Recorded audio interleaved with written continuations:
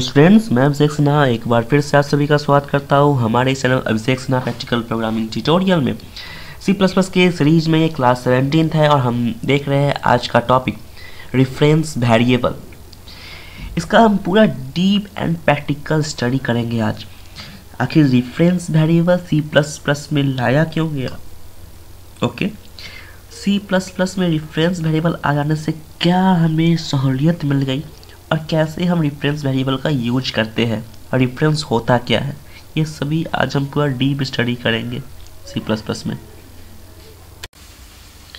यहाँ अपने आईडी पे है और आज का जो हमें क्लास देखना है वो है demo of reference reference variable की बात करें तो सबसे पहले वेरिएबल होता क्या है ये जान ले। तो वेरिएबल एक ऐसा मेमोरी लोकेशन होता है जहाँ कुछ वैल्यू को हम स्टोर करते हैं ओके वेरिएबल के टाइप्स की बात किया है तो अभी तक हमने सी में पढ़ा था normal variable pointer variable okay दो टाइप के वेरिएबल को हमने ऑलरेडी पढ़ के रखा हुआ है। तो मैं बात करता हूँ इंट ए ये क्या है? तो ये एक नॉर्मल वेरिएबल है। और बताया था क्या वेरिएबल होता है क्या है? वेरिएबल एक मेमोरी लोकेशन होता है, जिसमें कुछ वैल्यू को हम स्टोर करते हैं। सपोज़ ए में हमने हंड्रेड को डाला। सॉरी हंड्रेड की जगह इक्वल टू ले लिया। यस तो ए में हमने हंड्रेड को डाला। तो ये ए एक इंटीरियर डेटा टाइप का वेरिएबल हो गया, जिसमें कुछ वैल्यू स्टोर है हंड्रेड जो एक नॉर्मल वेरिएबल है। सी में हमने एक और वेरिएबल देखा था, वो था पॉइंटर वेरिएबल पॉइंटर वेरिएबल होता क्या था? अगर हम एस्ट्रिक के साथ किसी वैल्यू किसी आइडेंटिफायर को लिखें। यानी मैंने यहाँ पी लिखा तो ये एक तरीके का पॉइंटर वेरिएबल है। पॉइंटर वेरिएबल को हम इस तरीके से डिक्लेयर करते हैं। क्लियर है? पॉइंटर वेरिएबल का काम क्या था? पॉइंटर वेरिएबल का काम जिस तरीके से नॉर्मल वेरिएबल का काम क्या है? किसी वैल्यू को स्टोर करना। पॉइंटर वेरिएबल का काम है किसी एड्रेस को स्टोर करना। किसी दूसरे वेरिएबल के, जो सेम डेटा टाइप के, उसके एड्रेस को स्टोर करना। जैसे अभी हम ऊपर में देख रहे हैं इंट ए इंट ए चूँकि एक इंटीजर टाइप है ओके और इसमें हंड्रेड स्टोर्ड है।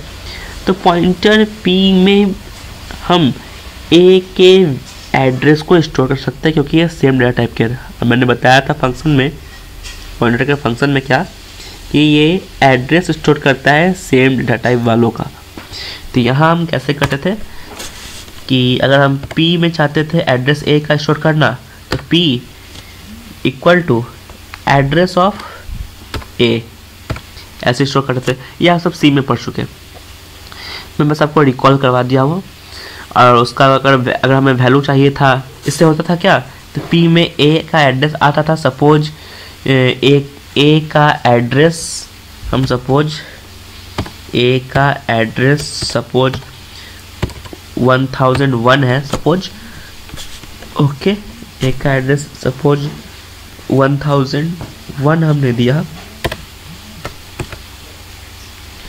तो ये जो पॉइंटर बी है तो पॉइंटर बी का भी अपना कोई एड्रेस होगा। लेकिन इस पॉइंटर बी के एड्रेस में हमने यहाँ डाला है ए का एड्रेस तो होगा क्या? इसमें पी में किसका एड्रेस गया? है तो पी में एड्रेस हमारा गया है वन थाउज़ेंड वन पी में वन थाउज़ेंड वन चला गया। अब उस एड्रेस में जो वैल्यू होगा, उसे हम प्रिंट करवाना चाहेंगे तो हम कैसे प्रिंट करेंगे? मतलब पी में एक एड्रेस गया। अब पॉइंटर केस में प्रिंट कैसे करवाते थे? उस केस में अगर हम चाहते हैं सी आउट और उस एड्रेस को देखना चाहते हैं तो एस्ट्रिक के साथ पी प्रिंट ऐसे करते थे। हम लोग प्रिंट के साथ यूज़ करते थे। ये सेम टू सेम हम सी प्लस प्लस में भी यूज़ कर सकते हैं तो सी आउट के साथ हम ऐसा कर सकते हैं। ठीक? तो ऐसा करने से हमें जो आंसर आता था, वो कितना रहा था?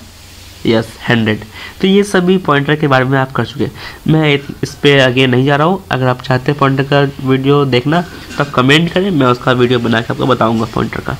बट मेरा मेन टॉपिक है आज रेफरेंस को समझना। जो थर्ड टाइप का है वेरिएबल वो हमें देखना है। तो वो है हमारा रिफरेंस वेरिएबल जो सी प्लस प्लस में है। तो ये स्पेशल वेरिएबल है सी प्लस प्लस की, ठीक? इसे लिखते कैसे पहले उसे जाने इंट एड्रेस ऑपरेटर के साथ कोई भी आइडेंटिफायर नेम ए हमने हमने अभी पी लिखा, ठीक? जो कुछ पहले पॉइंटर बनाया था सिम से वही कर दिया। एड्रेस पी ऐसा करने से ये होता है रिफरेंस वेरिएबल रेफरेंस वेरिएबल को सिर्फ़ ऐसे ही अगर डिफाइन अगर हम ऐसे डिक्लेयर करके छोड़ दें तो ये इरर जनरेट करेगा. क्योंकि रेफरेंस वेरिएबल को हमेशा किसी दूसरे वेरिएबल के साथ इनिशलाइज करना पड़ता है. ऐसे मैंने ए के साथ यहाँ इनिशलाइज किया. ओके तो ये इसका सिंटेक्स हो गया, पहली बात. यानी एंड उसके बाद एड्रेस ऑपरेटर के साथ पी इक्वल टू किसी दूसरे वेरिएबल को इनिशलाइज करना। तो ऐसे कर करके हम रेफरेंस वेरिएबल को डिक्लेयर करते हैं। ठीक? तो रेफरेंस वेरिएबल अब ये काम मतलब ये कि ये है, ये करता कैसे वर्क है? तो रेफरेंस वेरिएबल है, वो एक तरीके का एलियास जैसा काम करता है। सपोज़ मेरा नाम अभिषेक है। ओके समवन कॉल मी अभी ओके तो अभी और अभिषेक दोनों ही सेम बंदे का नाम है। या तो अभी को कॉल करो, तब मैं आऊँगा, या अभिषेक को कॉल करो, तब मैं आऊँगा। तो इस सिचुएशन में ये एक एलियाज हो गया, जो अल्टरनेटिव नेम वर्क एक ही है। उसी तरीके से हम चाहते हैं ए का एलियाज बनाना तो हम इस तरीके से एलियाज बना सकते हैं मतलब अभी पी में एड्रेस सेम है। किसका?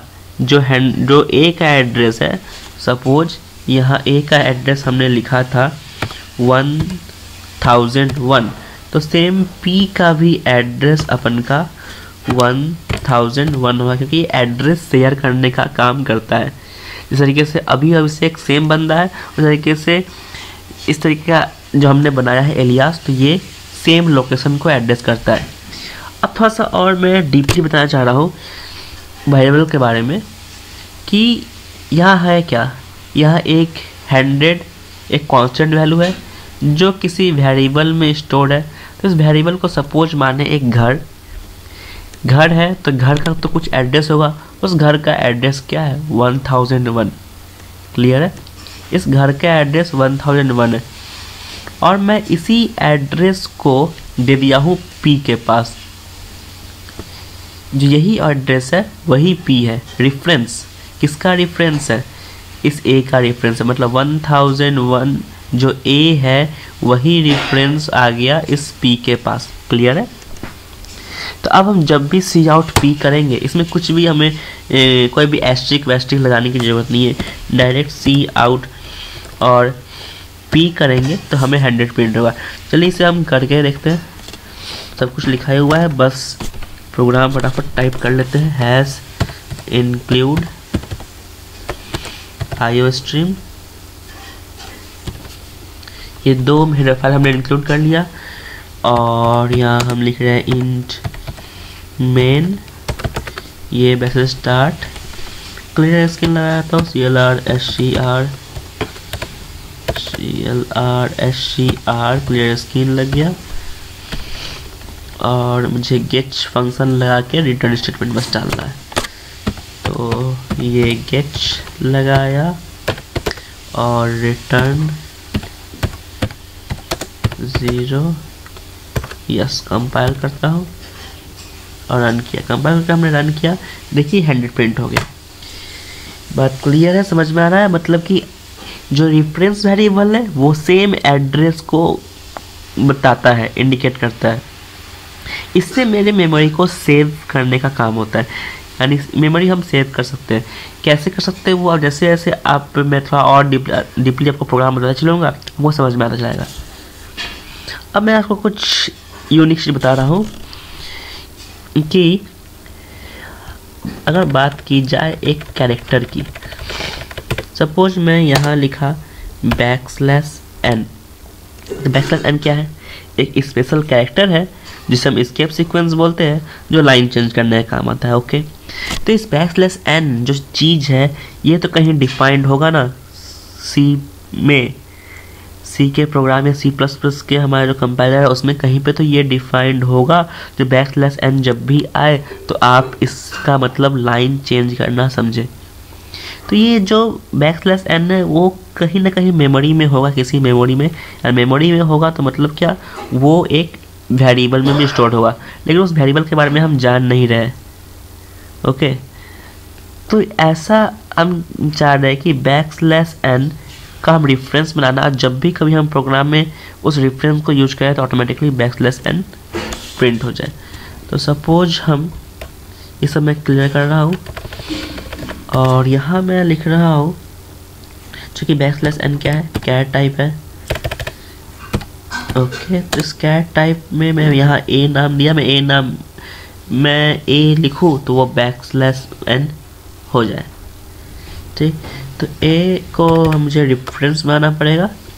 रेफरेंस ए मतलब ये किसी एड्रेस को ले मतलब कि सेम एड्रेस को शेयर करे।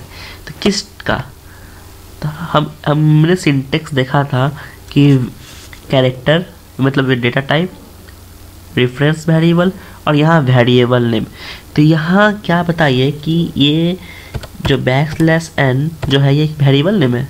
नहीं, ये तो कोई कैरेक्टर है, ठीक है? बट इस कैरेक्टर के बारे में तो कहीं डिफाइंड है किसी वेरिएबल में। तो वही वेरिएबल सपोज़ मानी ये वेरिएबल है, उसका उसका जो, उसका वेरिएबल को इनडायरेक्टली मैनुपलेट कर रहा है और इस ए में डाल रहा है। तो ऐसा करने से ये जब कभी हम ए को यूज़ करेंगे तो वो लाइन चेंज करेगा। सब कुछ मैं दिखा रहा हूँ आपको करके। मैं यहाँ किसी स्ट्रिंग को लिखता हूँ। I N D I India लिखा। ओके और हाँ ए को यूज़ कर रहा हूँ लाइन चेंज करने के लिए। और मैं दूसरा हाँ इंडियन लिखता हूँ। I N D I A N Indian ऐसे करते हैं और आउटपुट देते हैं तो क्या होगा? इंडिया लाइन चेंज होगा, तब इंडियन प्रिंट करेगा। रन करता हूँ। इसे जो रन किया हमने तो इंडिया इंडियन दोनों प्रिंट करा। लेकिन देखिए, यहाँ में जब कंपेयर करूँगा तो आपको एक वार्निंग शो करेगा। देखिए वार्निंग ये वार्निंग क्या बोल रहा है? टेम्पररी यूज़ इनिशलाइज है यानी इस ए को आप टेम्पररी तक यूज़ कर सकते हैं, यानी बैक स्लैश एन इसी प्रोग्राम तक ए को प्रेस करने पर होगा। ऐसा नहीं कि जब भी कभी आप प्रोग्राम बनाए ए लिखे तो वो लाइन चेंज कर देगा। ऐसा नहीं है। ओके तो ये भी हमने समझा कि जो बैक स्लैश एन है, वो किसी ना किसी मेमोरी की जगह पे होगा। उस मेमोरी को हम रिफ्रेंस के साथ इनिशलाइज कर सकते हैं। इस चीज़ का अगर आप समझना अगेन चाहते तो एक बार इस वीडियो को अगेन से प्ले करके देखिए। आपको पूरा कॉन्सेप्ट डीपली समझ में आ जाएगा क्योंकि बैक स्लैश एन का कॉन्सेप्ट थोड़ा डीप नॉलेज है। इसे थोड़ा चाहिए से एक, एक बार आप इस वीडियो को अगेन देखें। चलिए अगर समझ में आएगा तो क्लियर है। नेक्स्ट मैं बता रहा हूँ कि रिफरेंस वेरिएबल आखिर सी प्लस प्लस में आया क्यों? ठीक है? तो इसके लिए मैं आपको एक प्रोग्राम बना कर बताता हूँ कॉल बाय रेफरेंस की, और इसके बारे में एक प्रोग्राम एक प्रोग्राम पूछा जाता है। आपने कॉल बाय रेफरेंस सुना है? फ़ंक्शन कभी हम बनाते हैं तो कॉल बाय वैल्यू या कॉल बाय रेफरेंस से पास करते हैं। कॉल बाय वैल्यू से पास करने का मतलब डायरेक्टली हम उसे एक वैल्यू कॉपी करके देते हैं। वैल्यू का कॉपी करना, ठीक? उसका असर मेन में नहीं होता है। मैं दो पॉइंट बताया। कॉल बाई वैल्यू मतलब मेमोरी बस बस वैल्यू को पास करना एड्रेस को नहीं पास करना। पहला। दूसरा पॉइंट कि कॉल बाई वैल्यू से अगर अगर हम कोई वैल्यू पास करेंगे किसी वेरिएबल का तो उस वेरिएबल में कोई भी चेंजेस मेन के प्रोग्राम में शो नहीं करेगा। तो मैं यहाँ कॉल बाई वैल्यू का प्रोग्राम नहीं कॉल कॉल बाई रेफरेंस का प्रोग्राम बता रहा हूँ। तो यहाँ अगर मैं एक वेरिएबल लेता हूँ ए नाम का और ए में मैं वन रखा और एक फ़ंक्शन कॉल कर रहा हूँ। N C R E A S increase increase नाम का फ़ंक्शन कॉल किया और इसमें मैं ए को पास कर रहा। ओके? देन आफ्टर मैं चाहता हूँ ए के वैल्यू को प्रिंट करूँ। सी आउट ए लिखा। तो हमें अब काम बच गया क्या इस इस फ़ंक्शन को डिफाइन करना। तो मैं इसे मेन के ऊपर डिफाइन कर देता हूँ। तो यहाँ लिखते हैं वाइट ओहो ज़्यादा ऊपर चला गया। कोई बात नहीं।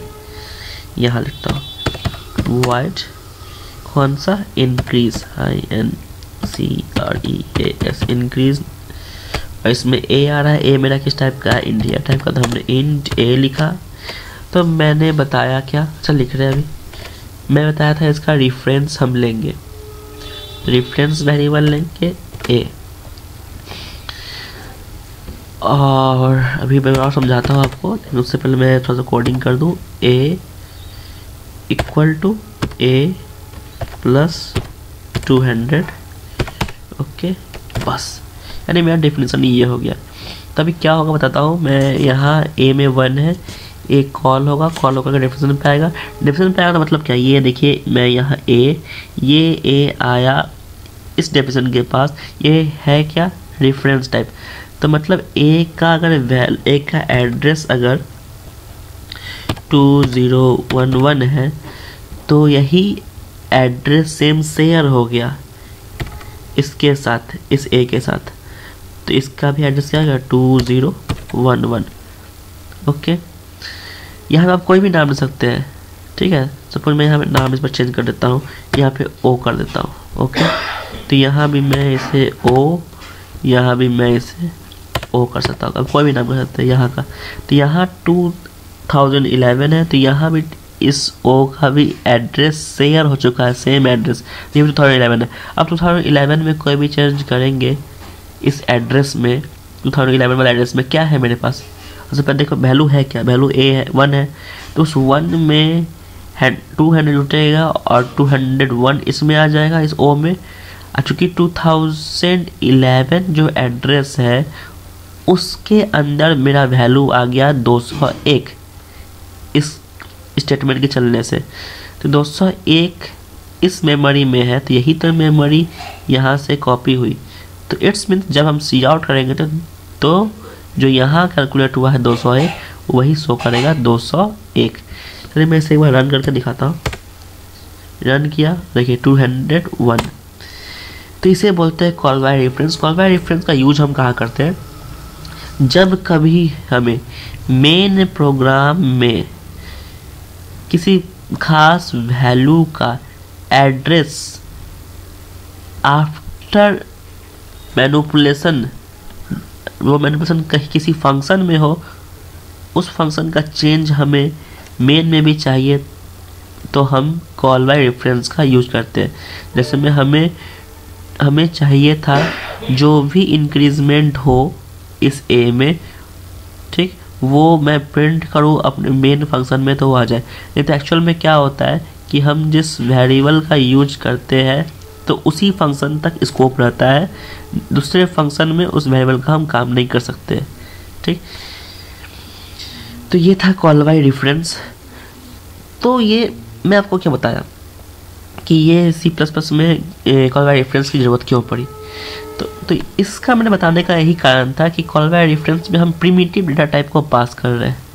ये क्या है integer integer type char char type इस सबको पास कर सकते थे। ओके सी सी प्रोग्राम में आप इस टाइप के वर्क को आप पॉइंटर के साथ भी करते थे। करते थे पॉइंटर के साथ? तो पॉइंटर के साथ जो हम वर्क करते थे सेम वैसा ही है बट हम सी प्लस प्लस में हम चाहते हैं ऑब्जेक्ट पे वर्क करना। तो ऑब्जेक्ट तो मेरा प्रीमिटिव डेटा टाइप नहीं है, वो यूज़र डिफाइंड डेटा टाइप है। तो यू तो यूज़र डिफाइंड डेटा टाइप है तो उसके लिए हम वहाँ पॉइंटर का यूज़ सक्सेसफुली नहीं कर पाते ठीक? वहाँ भी बहुत क्रिटिकल कंडीशन हो जाता है क्रिटिकल वे में हम उसका यूज़ कर सकते हैं पॉइंटर का। बट सबसे सिंपल वे जो हमें दिया गया है पॉइंटर का यूज़ के यूज़ से बचने के लिए कि हम रिफरेंस पास करते हैं। ये कि रेफरेंस हम ऑब्जेक्ट बना सकते हैं। आपने रेफरेंस के ऑब्जेक्ट को भी देखा है। कुछ, मैं वीडियो बनाया था, आपको बताया था। उस वीडियो में जहाँ पे हमने कॉपी कंस्ट्रक्टर का यूज़ किया। तो कॉपी कंस्ट्रक्टर के केस में हम क्या करते थे? किसी किसी ऑब्जेक्ट का डुप्लीकेट अगर हम चाहते हैं, सिर्फ़ और सिर्फ़ कॉपी करना मतलब जो एक ऑब्जेक्ट में है सेम टू सेम उसी ऑब्जेक्ट का हम कॉपी बनाना चाहते थे। तो हम वहाँ पे वहाँ पर रेफरेंस ऑफ़ ऑब्जेक्ट का यूज़ करते थे। अगर आप इस वीडियो को देखना चाहते हैं तो मेरे कॉपी कंस्ट्रक्टर वाले वीडियो को देखें। वहाँ आप इन, इस वीडियो को और उस कॉपी कंस्ट्रक्टर वाले वीडियो को दोनों को एक साथ देखें, तब आपको पूरा समझ में आ जाएगा कि हम सी प्लस प्लस में क्यों यूज़ करते हैं रेफरेंस वेरिएबल का। तो सी प्लस प्लस की जो इस कॉन्सेप्ट है, इसमें रेफरेंस वेरिएबल बहुत इंपॉर्टेंट रोल प्ले करता है, क्योंकि हम इससे रेफरेंस ऑब्जेक्ट बना सकते हैं। रेफरेंस की कॉन्सेप्ट से, क्योंकि रेफरेंस सेम एड्रेस को शेयर करता है, उस तरीके से हम प्रिमिटिव वाले जैसे काम कर रहे थे, वैसे ही काम हम ऑब्जेक्ट के साथ भी करना स्टार्ट कर दिए। ओके तो आई थिंक आपको ये बात सब क्लियर है जो कि रेफरेंस होता क्या है? ये शेयर करता है सेम सेम एड्रेस को मेमोरी बचाता है ओके कॉल बाई रेफरेंस कैसे बनाते हैं? वो हो गया इसका यूज़ कहाँ करते हैं? कॉपी का स्ट्रक्चर में हमने देखा है वहाँ हमने इसका यूज़ देखा है। रेफरेंस ऑब्जेक्ट्स का रेफरेंस वेरिएबल है ये। Same to same reference objects का यूज़ देखना है तो आप मेरे कॉपी का स्ट्रक्चर देखिए मैं बार बार बोल रहा हूँ। तो अगर आप फिर भी चाहते हैं कि इसका मैं आपको नोट्स प्रोवाइड करूँ तो आप कमेंट करें मैं इसका पूरा नोट्स बना करके आपको वहाँ क्लियरली बता दूँगा कि आपको एग्ज़ाम पॉइंट ऑफ़ व्यू से क्या लिखना है, कैसे लिखना है, और वहाँ मैं आपको थियोरेटिकली पूरा समझा दूँगा डायग्राम के साथ। अगर आप चाहते हैं ऐसा तो कमेंट सेक्शन में कमेंट करें, ठीक? तो आई होप आप आज की वीडियो से पूरे क्लियर है कि रिफरेंस वेरिएबल क्या होता है सी प्लस प्लस से क्यों लाया गया है, और भी कुछ प्रोग्राम को देखें। तो अगर आपको वीडियो पसंद आए तो इसे एक लाइक करें अपने फ्रेंड के साथ शेयर करें, क्योंकि बिल्कुल फ्री ऑफ़ कॉस्ट है। साथ ही साथ कि अगर आप इस वीडियो को पहली बार देख रहे हैं तो हमारे चैनल को सब्सक्राइब ज़रूर करें। Thanks for watching